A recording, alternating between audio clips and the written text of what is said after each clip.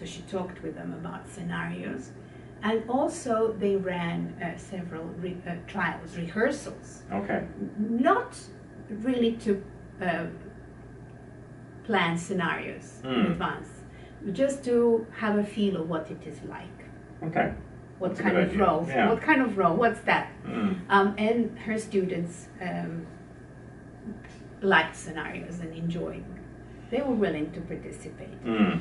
Um, so that's that's really helped me, you know, clarify. and Say, Mm. okay, this did, did not work because I should have explained what scenarios were. Yeah. And ever since that time, um, I've been actively searching opportunities to, to talk to colleagues and work Mm. with them to figure out what to do because I, I really understood uh, the benefits Okay. of this. So the sharing with colleagues does this does this include cascading?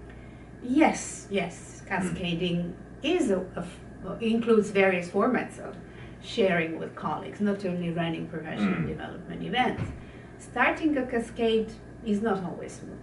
So Mm. I, when I became more experienced, I started uh, Yeah. cascading, um, and I realized that teachers are not uh, always uh, willing to share ideas. They're simply because they are not used to it sometimes.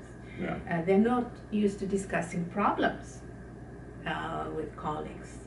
Um, um, they're not used to uh, search for Mm. pro- uh, solutions Okay.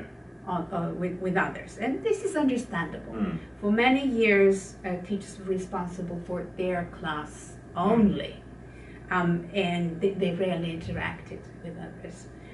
Well, times have changed, uh, and one of the most powerful way of introducing and disseminating innovations in, in education is through teacher collaboration.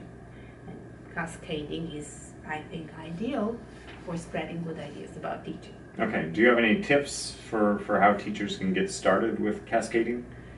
Yes, I can share some tips that may help uh, course participants um, start a cascade in teaching context. They help me at least. hmm So my first tip would be start small.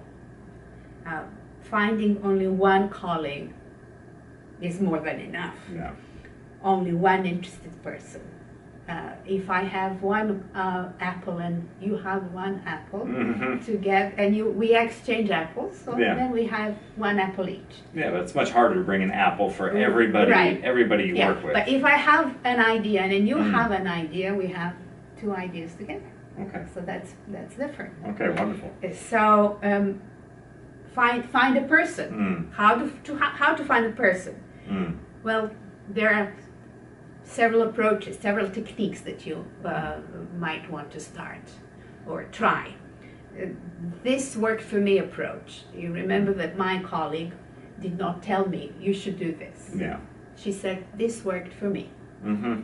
so the teachers don't like hearing oh, you you should do that you should do this but they might be interested in listening to what happened in your class Mm-hmm. so a way of sharing would be to to try out first try out something in your class Yeah. something what for the course participants try out something uh, that you learned in this course Mm. and then approach a colleague and say well this is something that worked for me Okay. So that, that's- seems, that, yes. that seems simple and doable. it's simple and doable Mm. uh, number two could be do you think this may work Okay.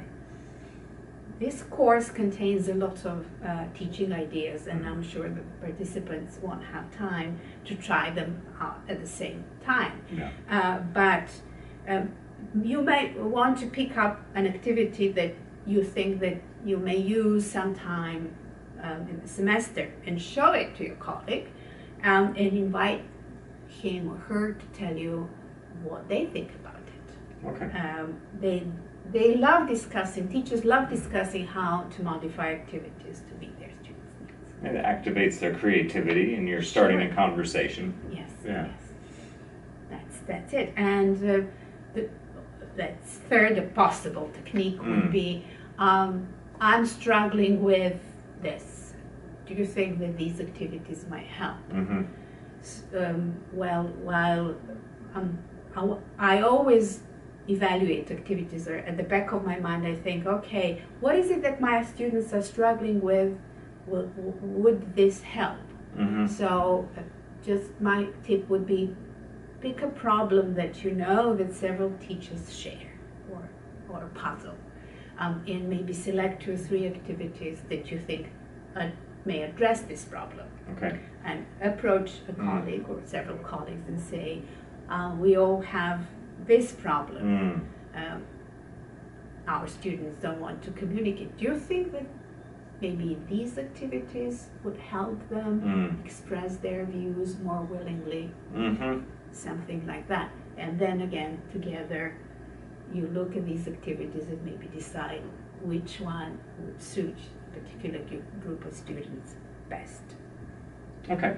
That sounds all that advice sounds very very reasonable. Um, thank you for your time today. Thank you, Andy, for your questions. Absolutely.